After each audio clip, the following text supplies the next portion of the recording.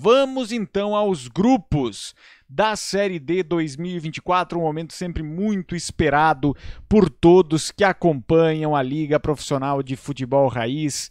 Vamos então aqui agora, vou até aumentar aqui a nossa visualização para eu poder é, comentar sobre isso com vocês, porque é de fato um momento histórico e importante para a gente poder falar sobre. Vamos lá? Agora sim. Grupos da Série D, deixa eu ver se eu estou enquadrado aqui, tá tudo certo, muito bem. Grupo A1, portanto, da região norte do país. Humaitá, Rio Branco. Peraí que o mosquito me pegou aqui. Agora sim.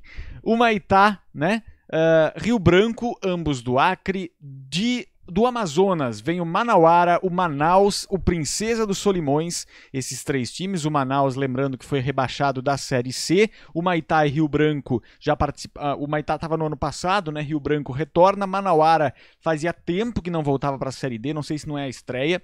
Manaus também estará por ali. Princesa dos Solimões esteve no ano passado. O representante do Amapá é o Trem. Depois vem Porto Velho e São Raimundo de Roraima. Nós temos aí Rondônia e Roraima também junto deste contexto do grupo A1. Então, portanto, grupo A1, Humaitá, Rio Branco, Manauara, Manaus, Princesa dos Solimões, Trem, Porto Velho e São Raimundo.